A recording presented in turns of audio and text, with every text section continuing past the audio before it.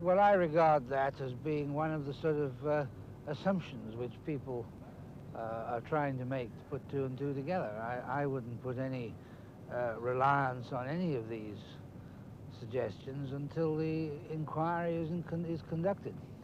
Test pilots, though, naturally are somewhat proud of their aircraft. Is this something which a test pilot would conceivably do, having witnessed a fine performance by another plane, at least try to equal it or outdo it? I think it's uh, very doubtful. What do you think uh, the inquiry will focus on? What sort of things will they be looking for?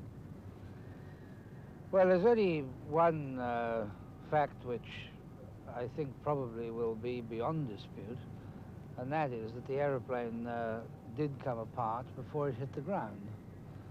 So uh, people will obviously be looking for some form of uh, failure within the aeroplane, whether it's uh, a failure of the systems or whether it's a failure of structure. I don't know.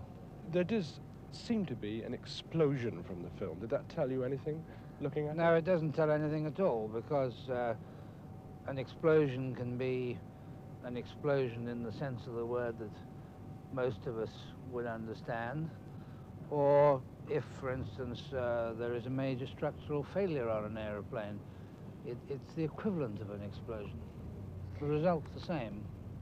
What do you think the conceivable effect could be on the Concorde project itself?